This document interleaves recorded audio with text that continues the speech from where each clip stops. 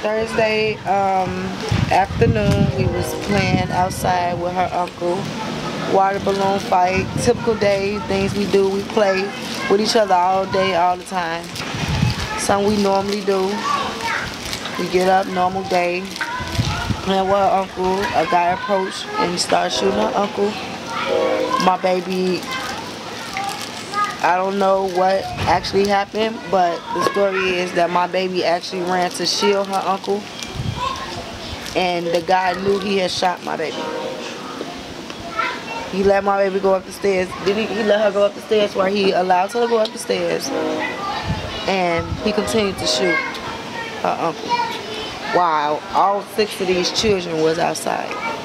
See, I was upstairs. See, I heard it and everything. I heard them. I seen everything, but I didn't see who it was because at the time I was upstairs getting my bucket of water ready. And when I heard them, the sound, it, it, it, sounded so close, but then it sounded so far. It's to the point that I didn't feel like it would be in front of the house. It sounded like firecrackers going off.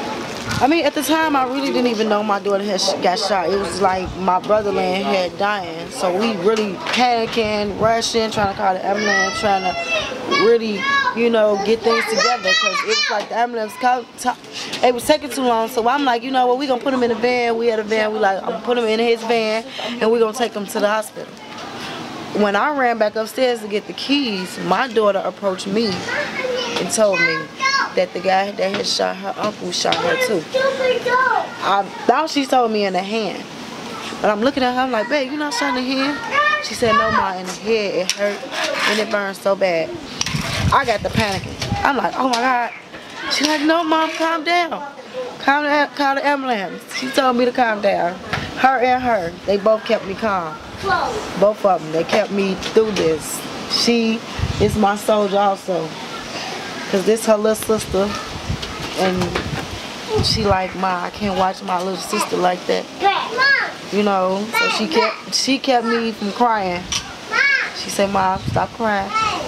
Every time she synced it, she couldn't even focus. She like, no, you're crying. I, I don't want to see you cry. She is my soldier, and she the one that kept my spirits high. Cause her smile and her enthusiasm to stay and still be here is like here, you know what I'm saying? And it kept me alive even though the hardest part is not over yet. And I'm just grateful to God that we was able to at least save one.